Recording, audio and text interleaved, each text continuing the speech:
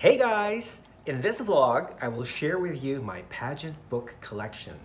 Well, actually, it's not really a collection since I don't purposely buy books about pageants to collect them, but rather I buy them because they're interesting to read and I like looking at the photos in them. All the basic information you need to know about each book is posted in the description box below. If you're new to this channel, welcome! And if you haven't subscribed yet, please click the subscribe button and the bell icon below to get instant notification for the next video. Let's start with this book, the Miss Universe Beauty Book. You can be a pageant winner or look like one by Susan Duff, published in 1983 by Coward McCann Incorporated in New York. The copy that I have uh, used to belong to a North Carolina Community College library, but it was discarded.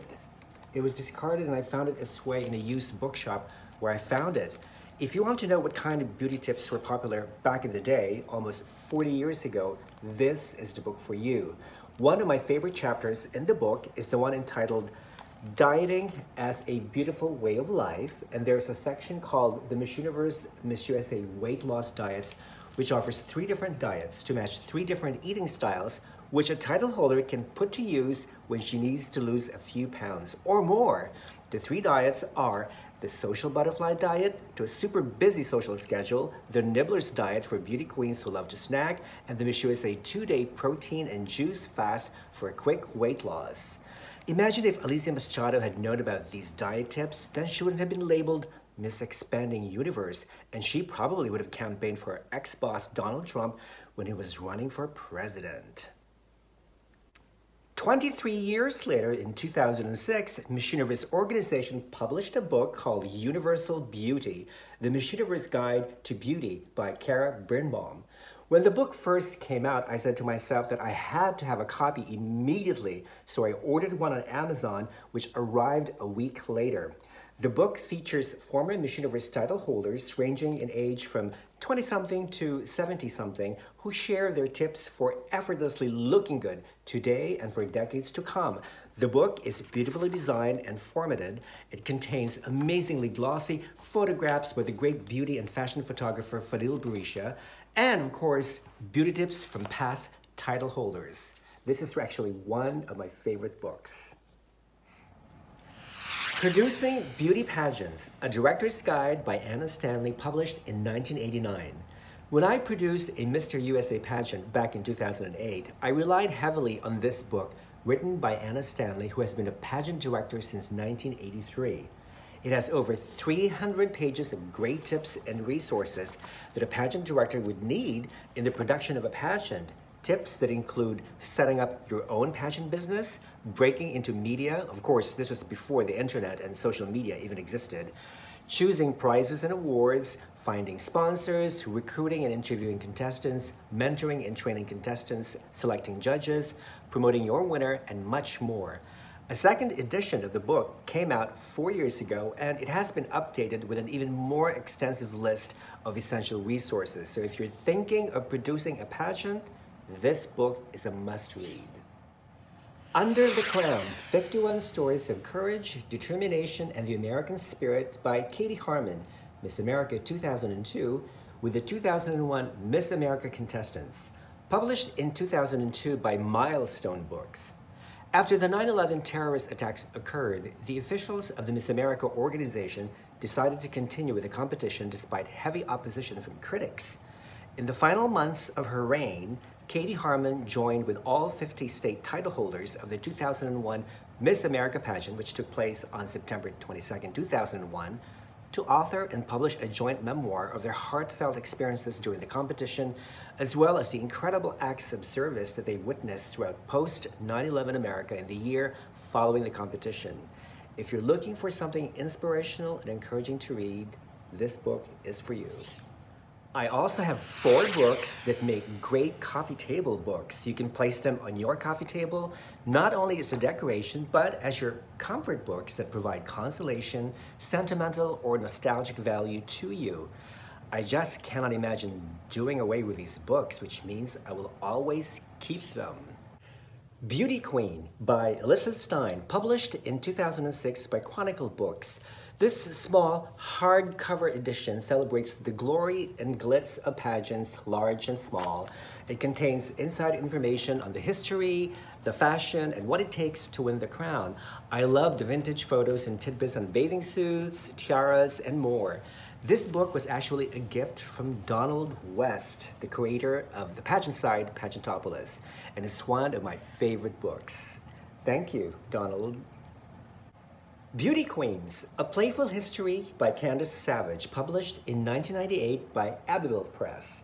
The book traces the evolution of pageants from its early days to 1996. I love this book which is in paperback because it contains so many vintage photographs of all sorts of pageants that I have never seen before, and the graphics are simply amazing. Pageant, The Beauty Contest by British author Keith Lovegrove, a glossy paperback published in 2002, which features a nostalgic trip through time with pageants such as Miss America and Miss USA, and including more unusual contests like Miss Car Wash in California, Miss Kansas Turnpike, Mr. America, and Miss Nude UK. It is attractively designed with French fold flaps, and it has 144 pages, and has the photo of Debbie Shelton, Miss USA 1970 in the back. Tiaras, Past and Present by Geoffrey Munn, a well-known jewelry historian. Even though this book, which was published in 2002, has nothing to do with pageants, I consider it as a pageant book anyway because it is a book about tiaras and crowns, and you can't have a pageant without a tiara or crown to put on the winner's head, right? Besides, tiaras have always epitomized majesty, sophistication, and glamour, whether worn by a queen, like Queen Elizabeth or a drag queen. Now, if you're looking for books on pageants with a more academic and scholarly bent, I recommend these two books. The first one is Beauty Queens on a Global Stage, published in 1996 by Routledge. It is a collection of essays written by cultural critics who argue that beauty pageants transcend all cultures, that they, quote, impose control, mapping power onto the bodies of their participants by forcing beauty into a narrow and arbitrary mold. Pageants discussed include ones with strange titles like the Snake Charmer Queen in Sweetwater, Texas, La Cordobesa in Andalusia, Spain, the India Bonita of Monimbo, Nicaragua, the Gay Bantut Transvestite Pageant in Southern Philippines, the Maya Queen in Guatemala, Miss Heilala Pageant in Tonga, and much more. Another book is The Most Beautiful Girl in the World by Sarah Banet-Weiser, published in 1999 by the University of California, Berkeley Press. This book discusses the age-old topic of beauty pageants and national identity with a focus on the Miss America pageant. The author moves beyond standard feminist rhetoric and argues that beauty pageants are sites of complex cultural work where ideas of race and nationalism often take center stage. One chapter is devoted to Vanessa Williams, the first black Miss America, who was later forced to resign 10 months to her reign after nude photographs of her taken in 1981 simulating sexual acts with a white woman were published in Penthouse magazine. I actually have two copies of this book, and I will give away the second copy when my channel hits 3,000 subscribers. Then I have two books in French. The first one entitled La vérité tirée du chapeau, or Pulling the Truth Out of the Hat, written by Antoine de Villejoie, a pageant historian, which is the primary source for my article, Miss France Controversy, which I published on the Critical Beauty website back in 2012. See link in the description box. The book offers an enormous amount of documentation that proves who the real creator and organizer of the Miss France pageant is and it's not her. The second one is entitled L'Histoire secrète des Miss France, or The Secret History of Miss France Winners, written by Xavier de Fontenay, the son of Geneviève de Fontenay, where he shares his thoughts and experiences with former Miss France title holders that he had known and worked with. The book is actually a gift from a Canadian friend of mine with whom I have been corresponding for years, although we have never met in person. The book has over 350 pages of interesting and eye-opening stories and tons of photos in black and white and in color. So if you read French and if you're looking for a good pageant book to read during your leisure time, I recommend this book. And lastly, years ago, I stumbled upon a book written in Finnish about the first Miss Universe. Armi Kuusela is from Finland and her life with Virgilio Hilario, a wealthy Filipino businessman. As some of you know, less than a year after being crowned, Armi chose to give up her Miss crown on May 4th, 1953 to marry Virgilio in Tokyo after a whirlwind courtship. The book was published in 1954. I don't read Finnish, I don't speak Finnish, I don't understand Finnish, so I really don't know what the book is all about. But with the help of Google Translate, the title of the book in Finnish translates into English as Yli kaikkien rajojen. Yli kaikkien rajojen. Yli kaikkien rajojen.